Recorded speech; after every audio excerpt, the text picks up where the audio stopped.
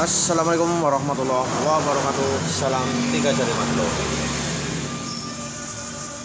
Eh, Mas bro ini m- Motor itu Drat busine eh, basah mas bro. Kan coba. Ini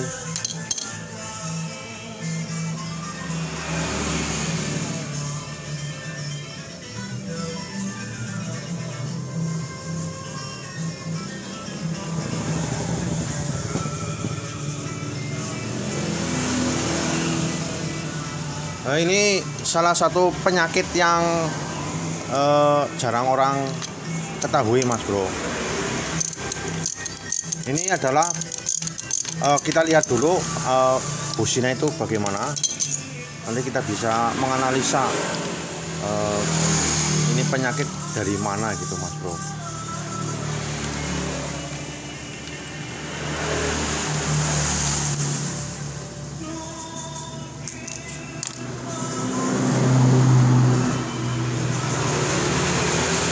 Ternyata busine eh, basah ya ini.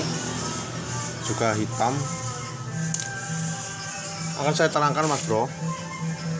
Eh, untuk yang basah sebelah sini mas bro hitam. Basah ini adalah penyakit bukan dari karburator mas bro.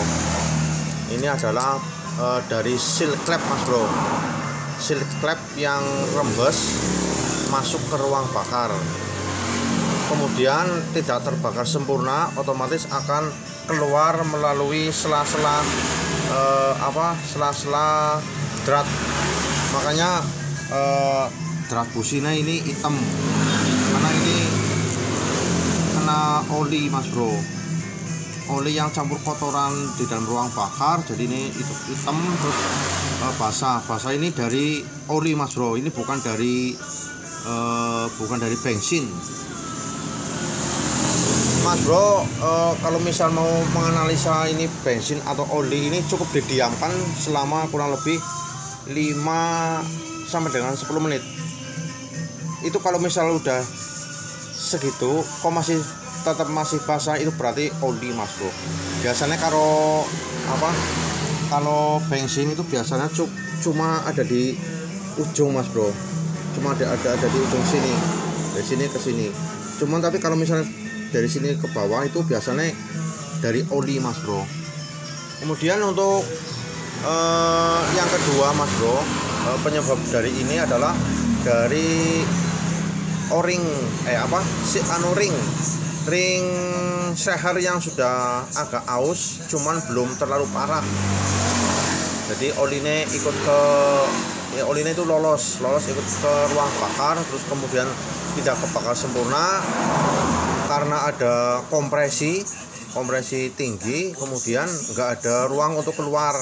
Hanya ada ruang ini bus antara busi. Makanya keluarnya lewat sini mas bro. Eh, sisa-sisa pembakaran yang kurang sempurna ini oli keluar lewat drat busi kemudian belewer ke sini. Makanya ini eh, businya hitam drat businya hitam mas bro. Ini juga sangat berpengaruh kepada performa mesin mas bro larinya juga kurang. Untuk pembakaran yang eh, sempurna mas bro. Pembakaran yang sempurna itu contoh seperti ini mas bro. Ini adalah pembakaran yang sempurna. Busine warnanya warnanya coklat mas bro. Jadi sudah sangat sempurna. Kemudian untuk eh, apa pembakaran yang tidak sempurna seperti ini mas bro. Ini, eh, pembakaran yang tidak sempurna juga ini diakibatkan oleh eh, bahan bakar yang terlalu irit mas bro. Jadi bahan bakarnya terlalu irit makanya ini jadi seperti ini mas bro. Terlalu putih. Performa motor juga akan ngedrop.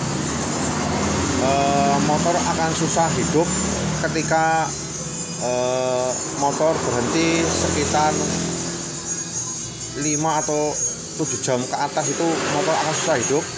Karena ini eh, businya terlalu hitam eh terlalu pu- putih terlalu irit.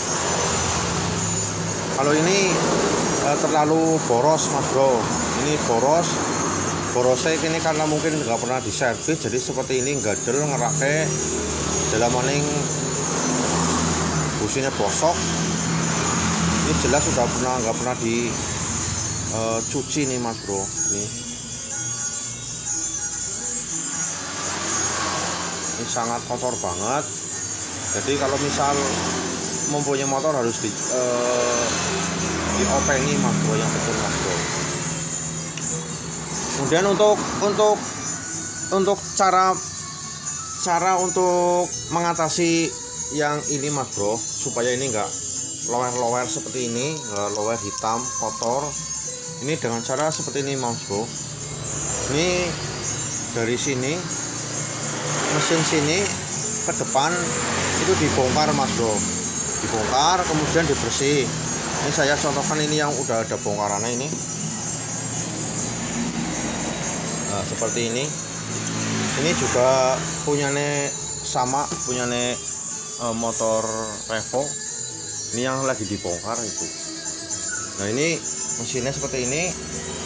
Untuk ngakalin yang pertama mas bro. Ngakalin yang pertama itu kalau misal udah dibongkar ini ini apa ya? Ini dibongkar mas bro. Ring sehre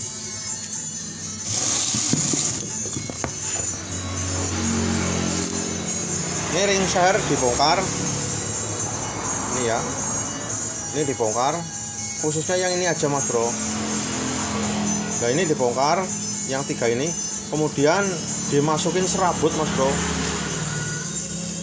Serabutnya yang kecil aja mas bro. Jangan terlalu gede mas bro. E, seperti ini nih cukup satu aja mas bro. Di video Saka motor juga sudah ada cara ngakalin motor mas bro. Ngasalnya seperti ini mas bro. Ini uh, ini dibong dicopot kemudian diganjel sama serabut gas. Kalau yang ini nggak perlu karena ini adalah uh, ring kompresi. Kalau ini adalah ring oli supaya oli nggak lolos ke depan. Karena ini udah agak aus jadi ini lolos ke depan otomatis karena ini ada pembakaran itu kebakar kemudian akan terjadi motor yang ngebul putih mas bro. Nah kalinya ini dibongkar diganjel mas bro. Itu yang pertama. Kemudian yang kedua mas bro. Ini uh, silk clamp mas bro. Ini silk kan ada ada di dalam sini ya mas bro. Ada di dalam sini. Dalam sini. Dan ini dibongkar mas bro. Uh, ini templare ini templar dicopot ini dicopot. Kemudian ini dicopot. Kemudian uh, seal klep itu diganti mas bro.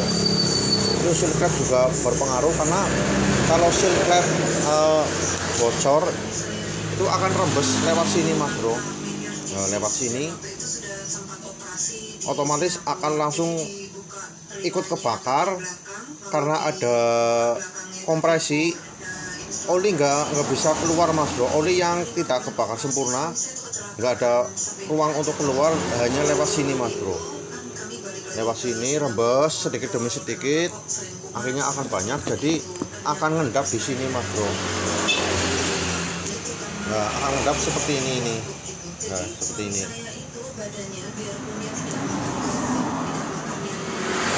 Nah ini. Ini juga udah rembes ya karena itu satu adalah dari ring sangkar kemudian dari uh, silkler.